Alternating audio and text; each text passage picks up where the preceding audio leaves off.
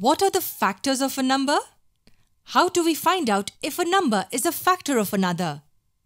Is 4 a factor of 24? To know if 4 is a factor of 24, we simply divide 24 by 4 and find out if the remainder is 0 or not.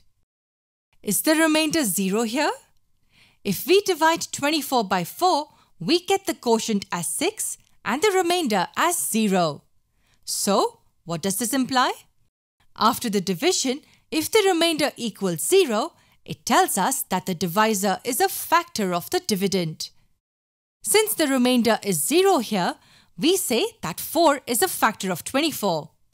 It also means that 24 is divisible by 4 or you can say that 24 goes exactly into 4.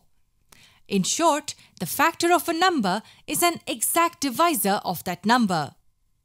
Now I would like you to answer the next question. Is 5 a factor of 24? To know the answer, let's try dividing 24 by 5. 5 times 4 is 20 and 24 minus 20 gives us 4.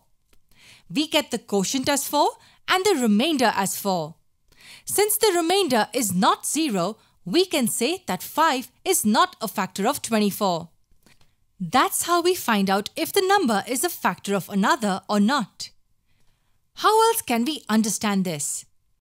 The fact that 4 is a factor of 24 tells us that 24 can be divided into 4 equal parts.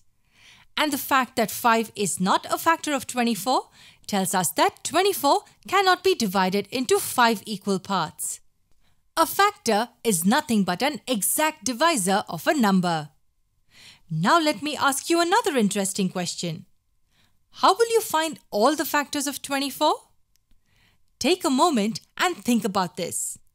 We cannot try dividing 24 by all numbers and see if we get the remainder as 0 in each case.